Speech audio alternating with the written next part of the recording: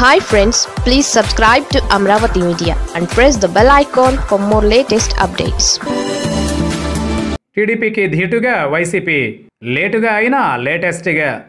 రాజకీయాలలో దూకుడు ఉండాలి. కొన్ని విషయాలలో అధికారులు ఉన్నప్పుడే అంతా చేసుకోవాలి. అయితే వైసీపీ అధినాయకత్వం మాత్రం నింపాదిగానే ఆలోచిస్తోంది అంటారు. ముఖ్యంగా వైసీపీ అధికారంలోకి వచ్చాక పార్టీనే దాదాపుగా మర్చిపోయింది అన్న విమర్శలు సొంత పార్టీలోనే ఉన్నాయి. కానీ గత కొద్ది నెలలుగా మళ్ళీ ఈ వైపుగా ఫోకస్ పెడుతున్నారు. దాంతో పార్టీ జెండా కాస్త రెపరెపలాడుతోంది. ఇక వైసీపీకి లేటుగా ఒక ఆలోచన తట్టింది. పార్టీ అధికారంలోకి వచ్చింది. కానీ ఎక్కడ చూసినా ఏ జిల్లాలోనూ సొంత భవనాలు అయితే లేవు. అన్నీ అద్దె బిల్డింగుల్లోనే సాగుతున్నాయి. ఎవరో బాధ్యుడు ఈ అద్దెలను భరిస్తూ పార్టీ భారాన్ని కూడా మోయలేక మోస్తూ వస్తున్నారు. ఇక సొంత ప్రభుత్వం అధికారంలో ఉండగా పార్టీకి బ్రహ్మాండమైన బిల్డింగ్లను కట్టుకోలేకపోవడం ఏంటి అన్న మాట అయితే పార్టీ వర్గాల్లో ఉంది. చంద్రబాబు రెండు వేల పద్నాలుగు నుంచి రెండు వేల పంతొమ్మిది మధ్యలో సీఎంగా ఉండగా విశాఖలో అద్భుతమైన భవనాన్ని టీడీపీ సొంతంగా నిర్మించుకుంది. ఆ భవనాన్ని చంద్రబాబు ఘనంగా ప్రారంభించారు. ఇక విపక్ష నేతగా తాజాగా అనకాపల్లి జిల్లా టూర్లో ఉండగా అక్కడ కూడా పార్టీ సొంత ఆఫీసును ప్రారంభించారు.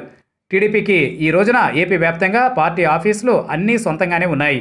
ఇక మంగళగిరిలో ఏకంగా కేంద్ర కార్యాలయాన్ని అద్భుతంగా నిర్మించుకుంది. ఇక వైసీపీ విషయానికి వస్తే జగన్ సొంత నిధులతోనే తాడేపల్లిలో పార్టీ కేంద్ర కార్యాలయాన్ని ఏర్పాటు చేశారు. ఇక ఏ జిల్లాలో కూడా సొంత ఆఫీస్ లేదు. తాజాగా కృష్ణా జిల్లా నుంచి ఈ కార్యక్రమం మొదలుపెట్టారు. వైసీపీలో జగన్కు కుడి భుజం లాంటి విజయసాయిరెడ్డి చేతుల మీదుగా విజయవాడలో పార్టీ సొంత ఆఫీస్కు పునాది రాయి వేశారు. ఈ సందర్భంగా విజయసాయిరెడ్డి చెప్పినది ఏంటంటే ఏపీలో అన్ని జిల్లాల్లో రానున్న రెండేళ్ళ కాలంలో సొంత భవనాల్లోకి పార్టీ ఆఫీసులు వస్తాయని. ఇప్పుడు విశాఖలో వైసీపీ సొంత భవనానికి అలా పునాది రాయి పడబోతోంది.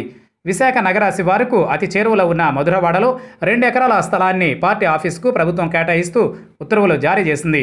ఈ స్థలాన్ని ఉమ్మడి విశాఖ వైసీపీ కోఆర్డినేటర్ వైవి సుబ్బారెడ్డి పరిశీలించి ఓకే చెప్పారు. ఇక విశాఖ ఎంపీ ఎంవివి సత్యనారాయణ భవన నిర్మాణం కోసం తన సొంత నిధుల నుంచి కోటి రూపాయలు తొలి విరాళంగా ఇచ్చారు. మిగిలిన నాయకులు కూడా విరాళాలు పెద్ద ఎత్తున ఇస్తున్నారు. మొత్తానికి విశాఖ నడుబొడ్డున ఉన్న టీడీపీ ఆఫీసునకు ధీటుగా వైసీపీ ఆఫీసును కూడా సమస్త హంగులతో తీర్చిదిద్దుతామని ఆ పార్టీ నాయకులు చెబుతున్నారు.